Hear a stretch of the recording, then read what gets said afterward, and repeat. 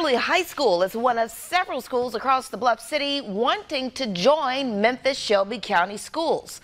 Since 2014, it's been operated by Green Dot Public Schools. That's a nonprofit charter organization uh, that works to transform underperforming schools. Action News 5, Sydney Gray reports school leaders now hope to build a local partnership with MSCS, but they're facing a few hurdles.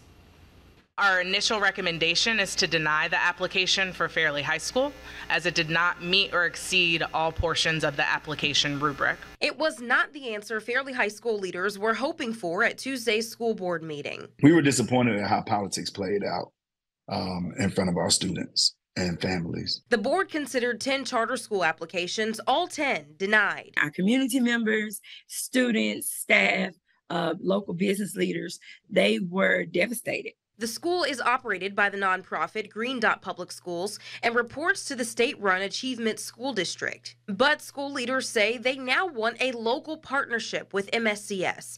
They also say the schools significantly improved over the past decade. Green Dot took a chance on Fairley and it was successful, giving more opportunities to kids who need a chance to excel in college, leadership, and life. And with that, I say, why not Fairley? Why Green Dot? I have witnessed firsthand the transformation of the school from 10 years ago until now. And what stands out most is the Fairley School pride and a healthy culture to support every need of the students at Fairley. Principal Julius Blackburn says he's determined to show MSCS his school's improvement. They saw the support and they know that we will be back.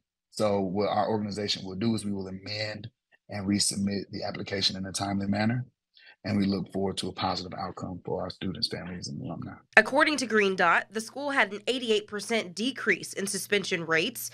It also touts more than 200% growth rates in math and ELA on iReady exams. I came in as a standard sophomore student, and I am leaving as an honor student with over a 4.0 GPA. The school has 30 days to amend its application so it can attempt reauthorization again. And I'm confident that with the work we're doing here at, uh, with Green Dot Public Schools and Fairley High School, and if we can, when we, when not if, when we continue to do this work, um, it'll show. Sydney Gray, Action News 5.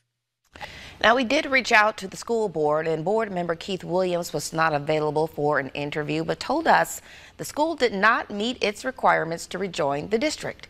We also asked the school leaders about feedback, and we're told the district wanted a contingency plan for a new building. And while Principal Blackburn and other school leaders say they do not want a new building, they will be working on those plans and adjusting their applications in hopes of partnering with MSCS in the future.